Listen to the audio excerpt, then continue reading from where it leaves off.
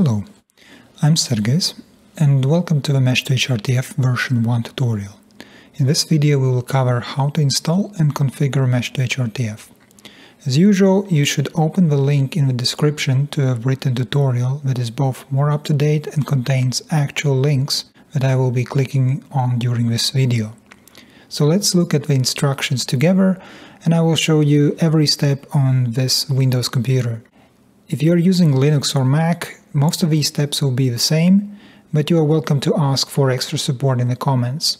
Remember that Linux and Mac OS are the primary Mesh2HRTF platforms, while Windows is mostly supported by me. We're gonna start by downloading the necessary files. So we open up this link, it gets us to the actual code.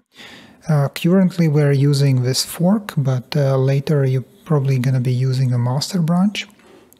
So we just click download snapshot and save it. We go back to tutorial. We also will get the Mesh2HRTF tools. Same thing, we click on download snapshot and save. Then we need to download Blender. No big deal. We go to Blender, click download Blender, download Blender. If you are on Linux, there are probably other ways to do it, but again, we're doing on Windows. Save. As it's downloading, we're also going to download the example Blender file. We click Save. Before we go on with Python, let's look at our downloads folder. So we go to Downloads, and uh, we're gonna extract this contents. I'm not sure where exactly I'm extracting it. I just click next. Here we go. We get strange folder and the actual contents. So we're gonna quickly rename it to just Mesh2HRTF tools and we cut it from here and put it into somewhere on this PC. Let's put it down on the C disk.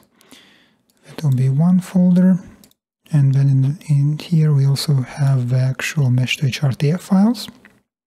Extract all, extract. I usually have 7-zip installed but not on this computer. So yes, that's the folder inside. So we'll delete the unnecessary characters and here is our folder again we do cut and paste here Windows 11 so we can close this.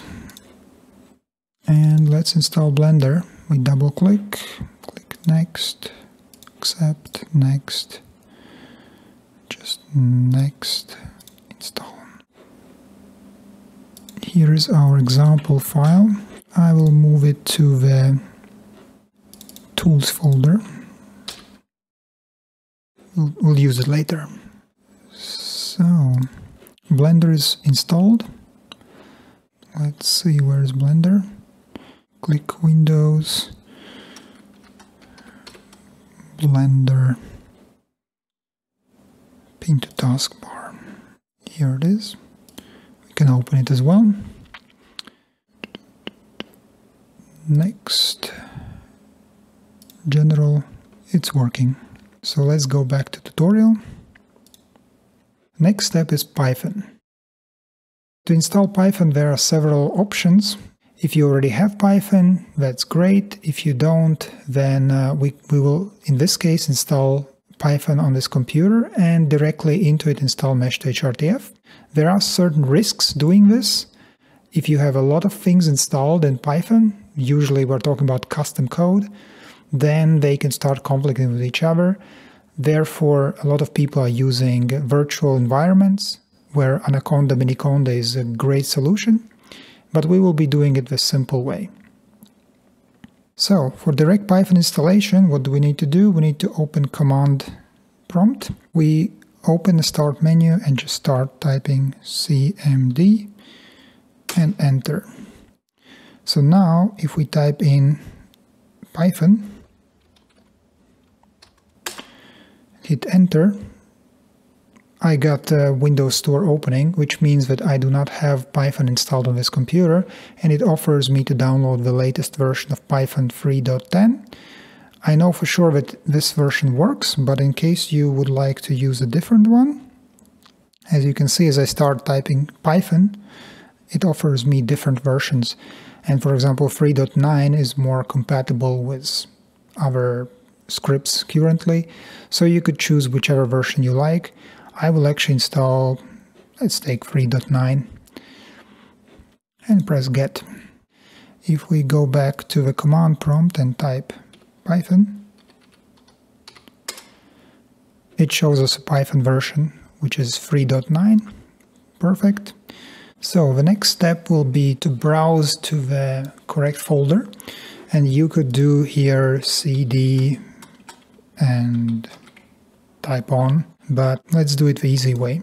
We have our mesh-to-hrtf folder. Where we want to go is the folder from the mesh-to-hrtf git and right here we have setup.py file, which is exactly what we want. So you can either right click and say open Windows terminal here or be more geeky and type in cmd here. And you open command line exactly in the folder where you want to be. We continue to the Python package installation. So we skipped the section about how to install Anaconda because we are going with the simple installation. So what we need, want to do first is pip install. So we copy this and paste it here and hit enter. pip just installed the necessary dependency for running numcalc manager. If there are some issues with this, you can use some fail-safes.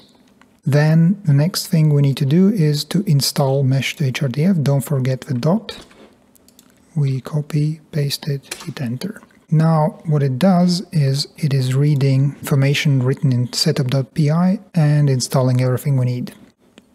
Looks like everything is installed. So we can close this. There is an optional part about testing uh, in this case, I will not install it.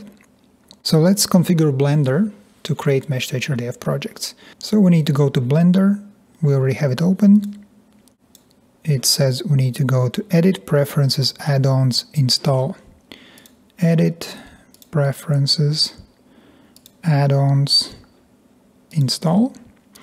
And now we need to tell it where is our export mesh to hrtf.py file local disk here, git, mesh to hrtf, mesh to input, and here is the file we want to install. And click install add-on. I believe it should already be installed. Yes. So we need to tick this box to actually enable it. And also notice here is a path where is it installed. So in case you need to find or modify this file, you can actually locate it in this place. So now if you go to File, Export, you should see Mesh to HRTF Exporter with all its options is available. That's it for Blender. Now let's look at the main Mesh to HRTF simulation program. In fact, if you are on Windows and you have downloaded Mesh to HRTF tools, then you're already done. Let me just demonstrate. We go to local disk C here in the tools folder, we have numcalcmanager.py, which is a manager script for it. If we double click it, it shows us that there is no projects to run, but actually the script is already ready to run. And it executes the numcalc Windows exe file, which is the compiled Windows binary of it. If you do not have the latest version, you can always recompile it there are instructions for it for Windows. It takes a little bit of steps, but in general it's quite easy. If you are on Linux or Mac, then you do need to recompile it, but it is extremely easy and you practically just need to type in make command line in the correct folder.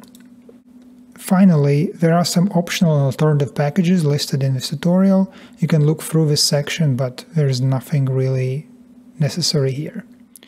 We are basically done. And uh, one last thing I want to mention is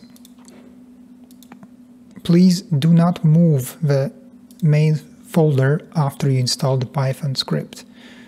It has to stay in this location for Python uh, to find the necessary files, and also Blender will be using some files from this location later on. So thank you for trying out Mesh2HRTF, and see you in the next video.